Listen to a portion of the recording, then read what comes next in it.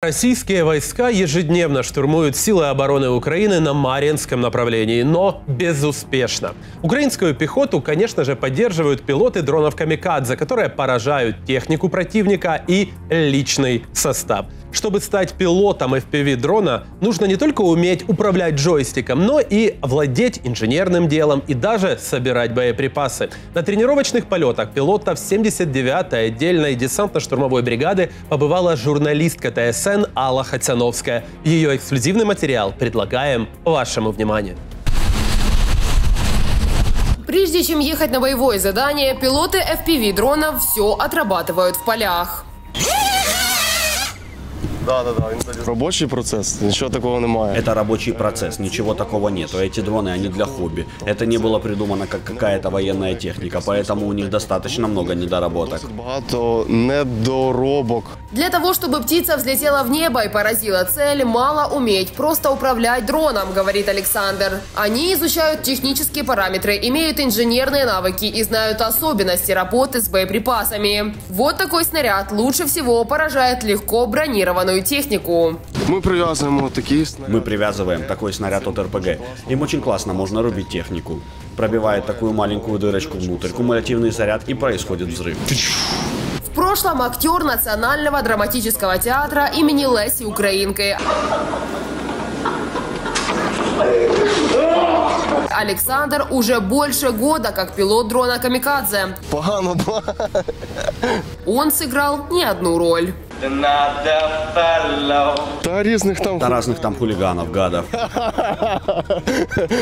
Ні, ну бувало щось і хороше. Не, ну было что-то хорошее, много спектаклей вообще. Мой любимый это, наверное, вид с моста Артура Миллера. Приходите. Правда, сейчас там уже играют другие актеры, но они тоже красавчики. Вони теж красавчики. После начала полномасштабного вторжения пошел в ТРО, присоединился к 79-й отдельной десантно-штурмовой бригаде. Я зараз взагалі не бачу іншого, іншого виходу. Я сейчас вообще не вижу другого выхода для себя. Когда в стране война, мужчинам нужно воевать. Это мое субъективное мнение. Но я по-другому не могу. Не будет воинов, не будет защиты, не будет театра. Не буде захисту, не буде театру. Его напарник, 21-летний Богдан, воюет уже три года. Был в пехоте, служил артиллеристом и со временем стал пилотом. Дуже була цікава, цікава ця тема. Очень была интересна эта тема. Хотелось летать, бомбить, уничтожать врага. Они уничтожают врага на Марьинском направлении, Красногоровке, Новомихайловке и Марьинке. Беспилотники поддерживают пехоту, поражают вражескую технику, залетают в блиндажи и окопы. На этом видео от попадания дрона российскому танку отрывают башню. Это дело рук Богдана. Когда башня танков отлетают, то уже ты стремишься только что больше и больше налупить их. И танки лупили, и БМПшки, и мотолыги, и легковые автомобили. Пехоту так же само, так же само выбиваем с позиций. Против врага воюют даже модернизированные агродроны, которые при мирной жизни помогали обрабатывать поля.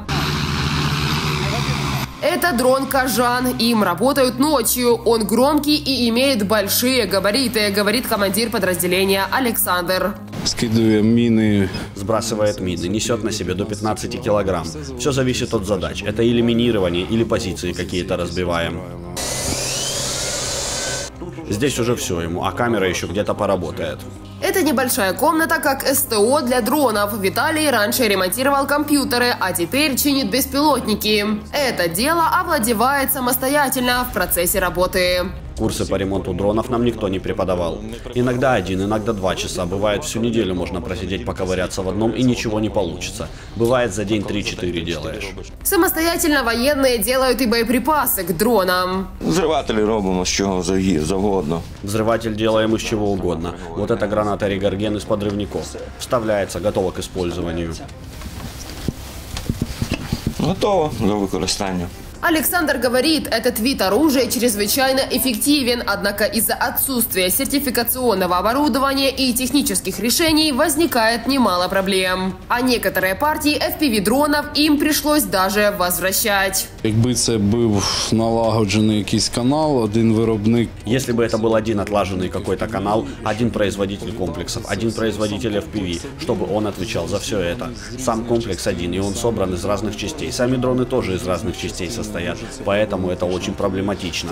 А когда у тебя один производитель этого всего, это, конечно, проще. Он уже заранее анализирует частоты и дроны прошивает. Частоти, і дрони прошиває. Ось такі от Вот такой вот экземпляр. Это вражеский дрон «Камикадзе». Его пилоты нашли около своих позиций. Беспилотник не долетел до цели и потерял управление. Александр говорит, на Мариинском направлении российские войска чуть ли не больше всего сейчас применяют дроны. От я був свідком один раз е, позицію нашу піхотну.